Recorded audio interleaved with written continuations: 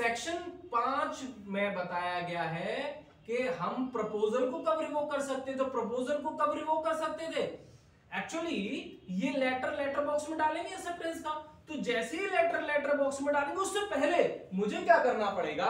इनके लेटर को letter box में डालने से पहले मैं इनको किसी तरीके से बता दूँ या लेटर इनको भेज दूँ। अभी इन्होंने लेटर पोस्ट नहीं किया, उससे पहले मैं इनको बता दूँ। तो प्रपोजल है वो